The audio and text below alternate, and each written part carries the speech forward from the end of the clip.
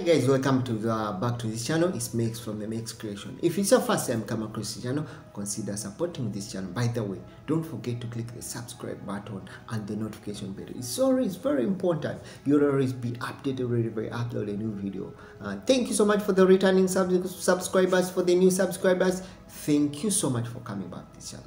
I really appreciate it. Has been a long journey where we are coming from. But I know we are still moving and we shall move together until the end. And here, makes for the Mex Creation. I'll already give you all the information I'm getting. We'll talk about information with regarding work, travel, and anything that may come in between that we need to share. And it's for the benefit of us. I'll definitely bring it on this platform and definitely we have to share together anything that comes in and definitely is beneficial for all of us then definitely it can add us to a milestone definitely i'll bring it here then we can share by the way don't forget to put a comment in a comment section will always be important uh, updated whenever i upload a new video what are we looking at we are looking at what you call the uae cyber law the social media misconduct can cost you a lot. We are looking at how can it cost you a lot. We are looking at imprisonment, imprisonment. Then we're also looking at what you call fines, which may not be one dirham, dirham, or which may not be 10 dirham, but over uh, uh, 500 dirhams of the fine, which may, you may not be able to pay. Remember, according to the cybercrime laws, insulting others or sharing photos and information affecting others' privacy on social media is punishable in the UAE. That is according to the latest updates on the, what we call the government website regarding what you call the cyber law on social media misconduct that can cost you a lot. So this is what we can.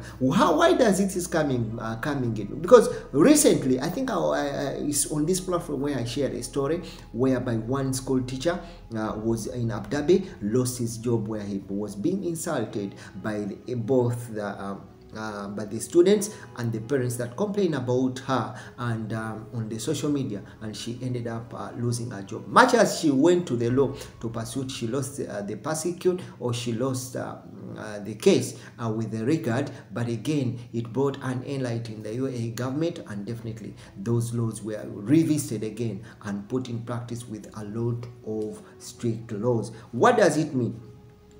It is also it is also it is also punishable uh, or uh, for example giving what we call in uh, fake what we call a fake uh, uh, fake news uh, which are going to counterplay getting affecting others privacy. It's also not good. Commenting about someone's photo uh, giving fake news it is punishable by law. For people who are living the UAE please this is something that you should know.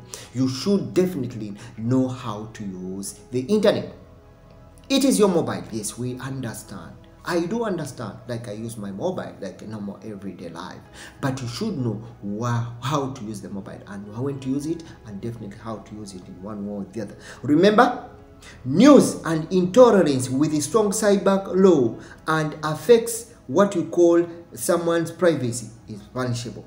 According to the UAE laws, Posting photographs, videos, and comments that invade someone's privacy or personal life is a major offense that could attract improvement, imprisonment, or at least six months of what we call penalties. And those penalties are ranging from 1,000, uh, 1,000 uh, 150,000 dirhams to 500 dirhams. Meaning, if you post someone's video, someone's photos without the concept of that person, that and they're going to violate the person's privacy, you will be paying what we call 150,000 dirhams to 50 uh, uh, to 500 dirhams as your penalty, or you face jail for one year.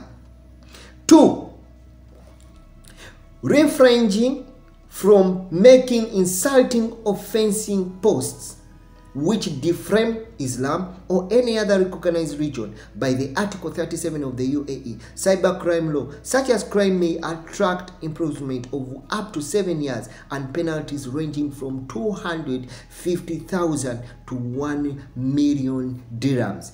For you insulting offensive posts to Islam or any of that religion that is recognized in the UAE. Under the Article 37 of the UAE labor law, you will pay 250,000 dirhams to 500 dirhams or you'll be imprisonment in the UAE for seven years. Hope you get me right. That is what we call the cyber, the UAE cyber law. So for people who are living in the UAE, I think it is the high time to know how you're using the internet and how you're using that smartphone. Information that activates what you call public opinion, causes panics or harm to national security affairs, you must you'll be improving, uh, put in jail for one year and you'll be uh, given a fine of 100 dirhams. Fine. Which is, you should understand.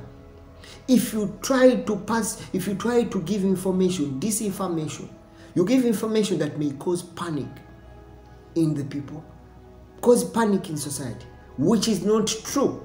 And that information is going to go against what we call the national security, then you'll be given what we call a fine of 10 uh, 10,000 uh, dirham fine.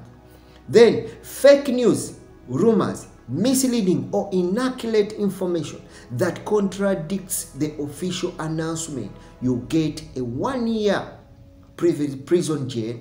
Then you'll be subject to a fine of 100 dirhams. Yes, you get that information that is being given by government. You try to certificate it off. You try to break it to put in your wrong information in that information. You'll be given uh, a one year jail and you'll also have to pay what you call a hundred dirhams as your fine. Fake news during pandemic, emergencies and crisis you'll be given a two years jail and you'll have to pay a fine of 200 dirhams. Don't talk about emergencies in the UAE. It is not your right. It's the government to communicate. Don't circulate information about emergencies that you don't have clear information. This is how these countries, these Arab countries, tend to protect their sovereignty or their national security. So we should be mindful whatever we have to put on social media.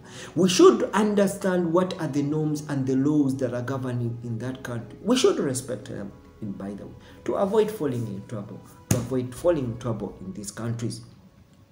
Then something that should know, photos or videos of other people without consent. If you take a photo of me, if you a, take a photo of another person or video without his or her consent, you'll have to go to jail for six months. And the, the subject fine is between 150,000 dirhams to dirhams 500,000, depending on the court ruling, which is quite very much. How much, how many of you can make 500 dirhams in a month?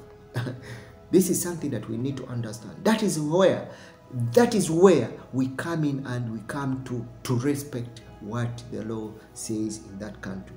Then lastly, photos of accidents, posting photos of accidents, dead people or injured, you will face a jail of six months in prison and you are subject to a fine of 150,000 100 uh, 150,000 dirhams to 500 dirhams fine. So thank you so much for coming back to this channel. This is what we call the cyber crime law in the UAE. Hope I've tried to share something. Thank you so much for coming back to this channel. If it's your first time come across this channel, consider supporting this channel. By the way, don't forget to subscribe to this channel. It makes from the Mex Creation. Support this channel by subscribing and clicking the notification bell. See you again in the next video. It makes